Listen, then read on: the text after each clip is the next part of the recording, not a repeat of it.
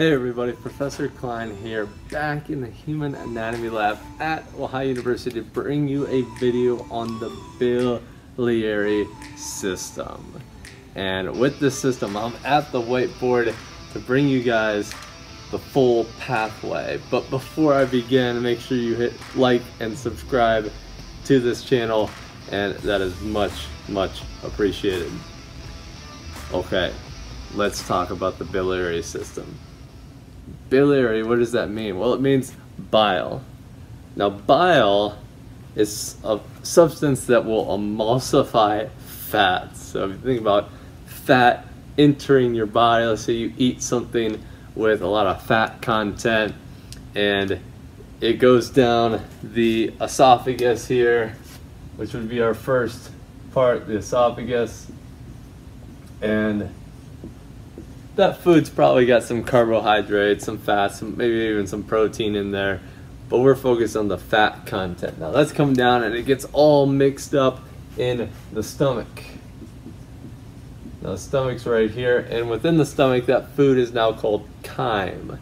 Chyme is more of a paste, and that that's moving through here, and it's gonna leave and go into the duodenum. So I'm just gonna write D off to the side here for duodenum, and that's the first part of the small intestine. Now why am I telling you this? Well, this is where the fat is at. So I'm gonna write fat in here. Fat, fat, right, so for the fat, the lipids to be digest or um, absorbed, they have to be fully digested and bile is a substance that's produced in the liver. This would be the liver right here. And emulsifies the fats or breaks them into smaller pieces. So the biliary system is explaining how does bile get from where it's produced in the liver to where the fat is down here? That's the question we're answering today. Now let me bring in a model here and got the liver. So where where would this liver be? Well, if it's on me here, I got my EKG shirt on for the heart lab this week, but ignore the shirt and the liver would sit right about here. The diaphragm would be over top, so H-I-J-K-L-M-N would be the diaphragm, right? And then the liver would be right about here. This is kind of a small liver for my body size maybe double this, and that would be the size of the liver. What you'll notice is the liver is brown underneath it. There's something green. This is the gallbladder. So I got the gallbladder in green up here.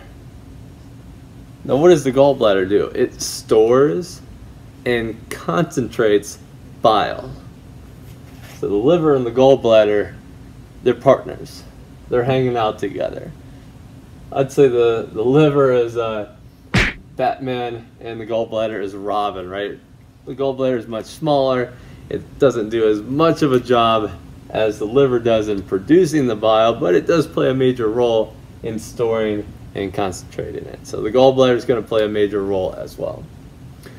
So we got this liver, and let's say I take a chunk of the liver. Now we got the liver lobule model. Check out my other video on the liver lobule model. But if I zoom in here real close for you, and I grab the magic probe, and I point at these cells within the liver, these are called hepatocytes, and this is where bile is actually produced. So like real close at these cells, they are all throughout the liver. And what happens is bile is produced on those and then it travels down this green narrow pathway called the bile canaliculi. Bile canaliculi here.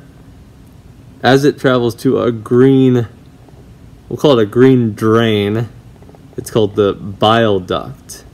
So imagine all these hepatocytes producing bile, they merge, and they eventually get to a bile duct. Now this is a zoomed out picture And anything you see in green is a bile duct. So you got a bile duct here, you got a bile duct down here, over here, over here. They're all over. And all those bile ducts will merge and merge and eventually merge into two major ducts. And this is the first part of the biliary system to where we have a left and a right hepatic duct. So I'll write this up here. This would be the left hepatic duct. And this one over here would be the right hepatic duct. Right and a left. Hepatic means liver. The two ducts carrying bile coming from the liver. Now they're going to merge, and they will merge right when they leave the liver. And I'm going to switch colors here so that you can see the differentiation between the ducts and where they merge. And let's go red. I'll just choose red here if you guys see this new duct. Now anytime a right and left merge, we use the word common. So this is now the common hepatic duct. Common hepatic duct right here. And stop the video, go back if you're confused on how we got here, because from here we're going down to the duodenum, but this is now the common hepatic duct. And just a little guy right here as they merge together because there's going to be another duct. And I said before the gallbladder stores and concentrates bile. So there's going to be a duct that travels over to the gallbladder. Now the gallbladder has this cystic duct. So I'm going to swing this one down and write it over here. Cystic duct. And the cystic duct, it's a two-way street. You can go into the gallbladder, store it, concentrate it, or bile can leave the gallbladder and go on out. Now let's say we're going out the gallbladder and it merges with the common hepatic duct right here and forms our final duct to get down the duodenum. This one's going to be a long duct here, very long duct. And this one's called the common bile duct. Anything green here, common bile duct. Sometimes you're, it's referred in textbooks as just the bile duct, but be careful. We saw another bile duct here, right? This guy. Don't get confused with the bile duct inside the liver versus the bile duct outside the liver down towards this area. Now you might be wondering, wait a minute, Professor Klein has not mentioned what this is right here. Any guesses? This is the pancreas. The pancreas is right here. Pancreas is right underneath the stomach, left side of the body, right? And if I were to bring in another model here, this model is showing the same stuff, magic probe, the liver, the gallbladder, the duodenum with the stomach cut and then the pancreas in the middle. And what you'll notice with this is that they're all together. So with this picture, I've kind of separated it so you could see the different structures and we could really see the ducts.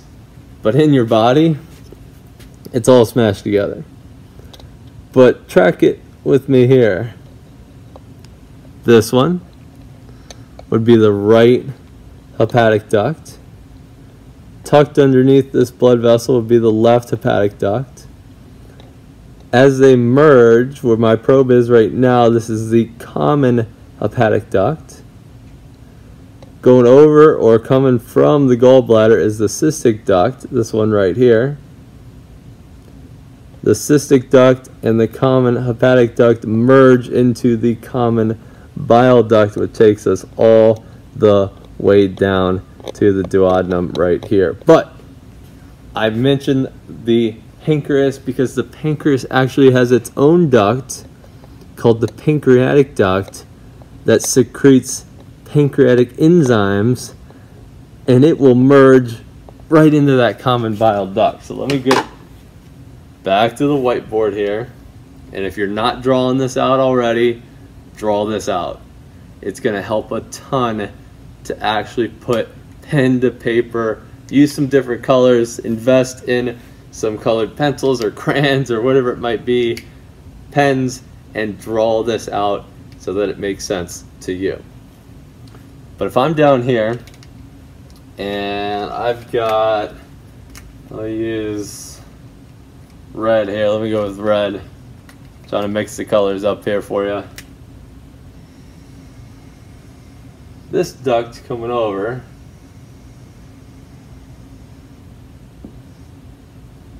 would be the pancreatic duct. And right before,